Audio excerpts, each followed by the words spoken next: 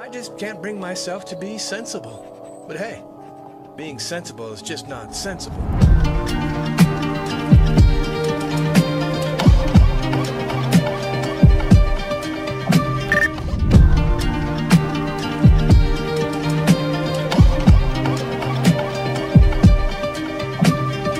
Don't you believe in destiny with a capital D? Two people who've never met for each other? Even when things start badly, I always feel they can get better.